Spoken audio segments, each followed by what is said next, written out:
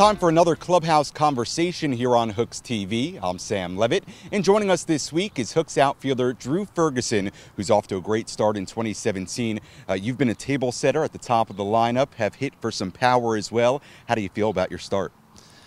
Um, I actually think that I could have done better. Uh, I think that's kind of how, you know, I perceived my career. I always held myself to a pretty high standard, but things have gotten off uh, to a good enough start. I'll put it that way. I'm not, you know, ecstatic or over the top excited. More just kind of, uh, I feel like I'm performing at expectations, but um, I do expect a lot out of myself. So hopefully I will get better as the season progresses. You spent most of last year at High A, came to Corpus Christi late in the year, had a good amount of success. And everybody says Double A is the make or break level. A lot of guys weeded out at this level. Having that kind of success late in the year, did that give you some confidence going into the offseason? Yeah, I think one of the biggest parts about getting some experience up here is kind of the nature of the Texas League. Um, of course, we play the same teams so many times uh, it was good to just get exposed to some of the, the players, some of the pitchers that I was going to see um, throughout the course of this season. Uh, you know, I can obviously have a better idea how they're going to pitch me. Um, you know, just have a feel for who I might see and you know how they might uh, again attack me in any given situation. So, with experience, of course, you're going to build some confidence uh, you're going to be more comfortable, and you know that's important at the beginning of the season when you're looking for that that confidence and that comfort, that level of comfort, uh, especially at the plate. So, yeah, I think coming up here to get a taste of Double A last year was definitely um, a pretty big reason about sure. for for why I've been able to start pretty well this year. Well, certainly you've gotten off to a nice start here in 2017, and you were a part of one really cool moment earlier this year, back to back to back home runs. You were the final one, first pitch swinging. Let's take a look. Fly out of here. Ferguson swings. Goodbye. Down the left field line and out of here. To back. So in that situation, are you trying to hit a home run there? In that actual situation, 100%. and the funny thing about it is this is kind of some insider knowledge. I'm not sure if Jose Trevino, the Frisco's catcher, would, would want me to say this, but when I uh, when I dug into the box there, he actually said he just said you won't.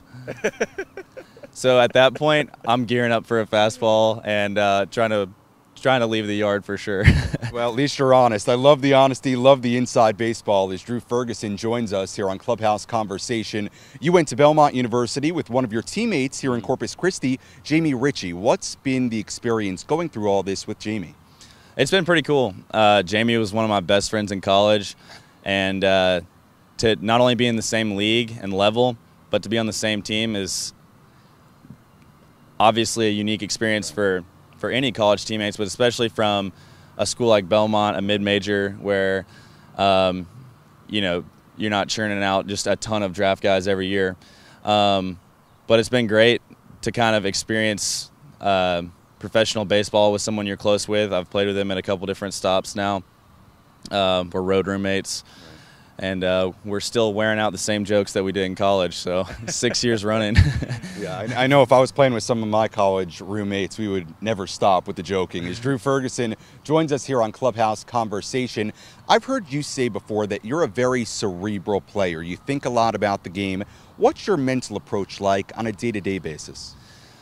Uh, well, I'm the type of player that I don't have all of the physical gifts that a lot of people do even if, at this level, and especially I wouldn't if I were to make it to the big leagues. So I really have to use every shred of information, you know, every uh, developmental tool I can to maximize my my potential. I don't have, you know, any particular tool that stands out.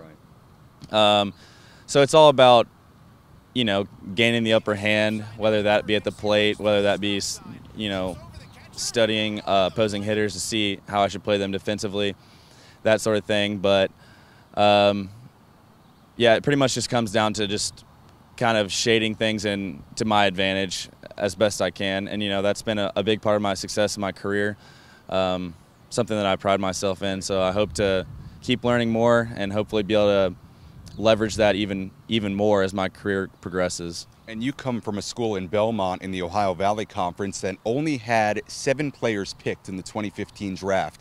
Do you feel like there's a little bit of a chip on your shoulder as you go along here?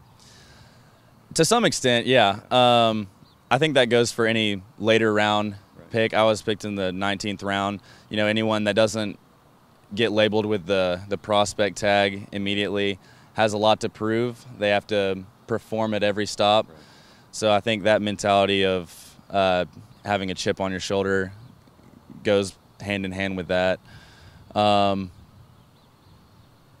but you know, at the end of the day, it just comes down to performance. Right. You know, at at this level and going forward, if you perform well, it doesn't matter really who you are. Um, if you do, if you do well enough, you'll be able to keep moving up. So. Well, certainly the proof is in the pudding so far for you. You've done well at every level you've been at in the Astros organization.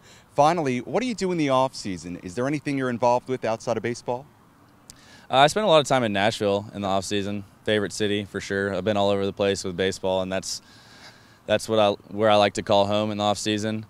Um, this off season, I played winter ball in Puerto Rico.